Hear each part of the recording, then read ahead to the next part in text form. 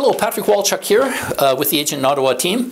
Uh, it is uh, the beginning of December, and if you're like me and you're a homeowner and you've gotten a letter like this, and you should have from the City of Ottawa, it's for a vacant unit tax. And it means that if your house is vacant, for a year, or better part of a year, that you will have to pay the city 1% of the assessed value of your tax. Let me read you a little bit of this uh, very charming letter that we're all getting. City of Ottawa vacant unit tax. Beginning in 2023, residential property owners must complete an annual declaration notifying the city of their property's occupancy. This letter is to notify you that a direction, a declaration will be required for your address. Uh, declarations are open in January 2023 and must be completed by March 16th. So giving you about two and a half months. Um, now it says the um, vacant unit tax is based on the property status from the year before. Okay, meaning your, if your home is vacant in 2022, the tax becomes payable in 2023. So how do you like that?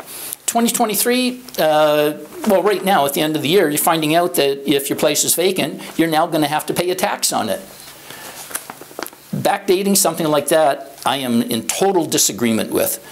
Um, now, as I said, the declarations must be completed by March 16th. If you do not complete your declaration, your property will be deemed vacant and charged this tax. This is like one of those negative opt-in schemes, right? You have to opt into the program or we're going to go ahead and charge you this tax.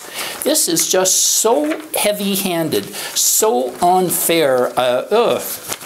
Anyhow, so let's take an example. If you have a, a house that has an assessed value of 600000 not uncommon at all, right? You're going to have to pay the city $6,000 if the property is vacant. Now, this is my primary house.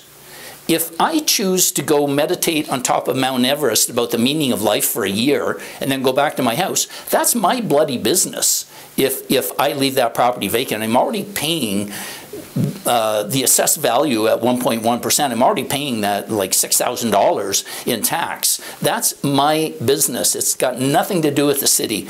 If the city thinks that they can come up with a few extra vacant properties and that's going to solve some sort of availability crisis for rentals in the city of Ottawa, they're just dead wrong. Dead wrong. I would like them to prove to me how many properties this is going to free up.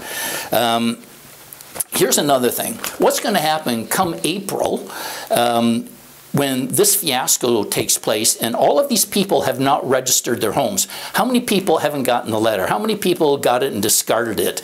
Uh, there's got to be like thousands of people that aren't going to go online and register with this.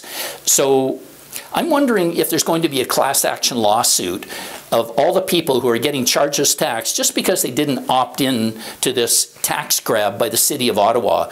And then if we get into a class action lawsuit, then the city's going to be spending money on lawyers and blah, blah, blah. I mean, face it, this is a tax grab. It's not going to solve anything by freeing up a few units. Um, I better stop there. You know what? So, Mr. Sutcliffe, our new mayor, if you're watching this, you might want to think about trying to get this reversed. It, it ain't going to work. It's not fair. Thank you.